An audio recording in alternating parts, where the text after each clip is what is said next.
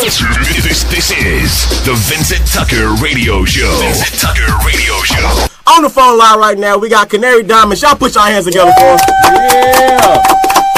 How you doing today? Hey, I'm good. Already, You? we are fantastic. We just, we just glad that you were able to take the time out to be on the show. Thank you. Thank you for having me. Who is Kanary Diamonds? Uh, I'm Kanary. I'm an entertainer. I rap. I act. I do it all. I'm from Watts, California. I'm Kanary. If you don't know, now you I know. mean, I'm Kanary. I mean, Watts is, Watts is in the building. Okay. Right. How did That- you yeah. How did you get started uh, in uh, rapping? What did were you like uh, hanging out in the scene and and wh- wh- how did you get Well, started? actually, I started off as a dancer. Okay. I started dancing when I was like three, three or four, and that progressed into hip hop dancing, and I started background dancing for singers, rappers. That turned into singing, um, and then singing turned into rapping. So it was like a whole evolution thingy. Like I never thought about being a rapper at all. Like when I was younger, that it never crossed my mind. But since I was singing in the group, it was like at that time it was so many other girl groups out. So we was like, let's do something different. So we was gonna do like the backwards TLC thing, how they had two singers and one rapper. We was gonna do this two rappers and one singer. Okay. So we was like backwards TLC. So so that's actually how I started rapping. Um, I just started rapping in that group, and then it stuck. Like I loved it. It was much easier than singing.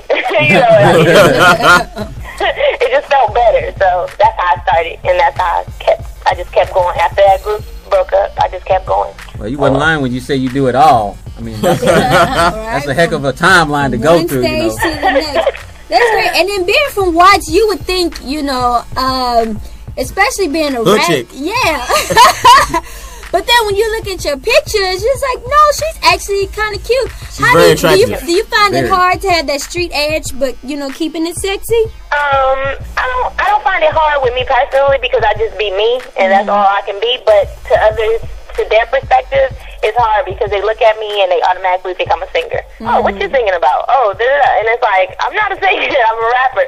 So it's like kind of hard to get people to take me serious. You got, you know what I'm saying? And then when they find out I'm from Watts, they're like, Nah, you lying. gimmick. You're a gimmick. We don't believe it. You know what I'm saying? It's like so that's the hard part about it. But just being me, it's it's me. So you know, it's not hard doing it. It's just hard to get people to respect it. You know. Yeah, and, and I can see that. Uh, it's Vincent Young Heartbreak Tucker here. Hey, I, I was with my marketing team, and I remember we were sitting down and we came across your MySpace picture. Well, I just saw your picture first, and I was like, yeah, I bet she's a singer. But then when we actually with your page and heard you spitting, I was like, wow, this girl got some talent. She's Yeah. she's, she's spitting some real heat. Yeah, I get it all the time. Like everybody, what you sing about? Sing something for us. I don't sing. You know, every time you every every Yeah. every time somebody asks you what you sing, you just start spitting right at them, just Okay. tear them up.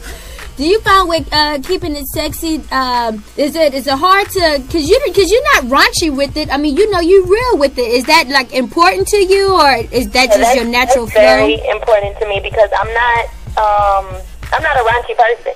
You know what I'm saying? It's like if you're that way, fine, rap that way. Mm-hmm. But I'm not that way, so I'm not gonna sit here and fake like I am. You know what I'm saying? Just to get some attention. Right. Like I feel that's the problem with a lot of female rappers. They do it just for attention. Like I'm that's not me, so I'm not gonna do it. You know, you know what I'm saying? Like I'm not raunchy. But if you are raunchy, go ahead and do it. You you just being true to yourself. Right. But I gotta respect I that. don't with female rappers is that they're either too raunchy or they like dudes.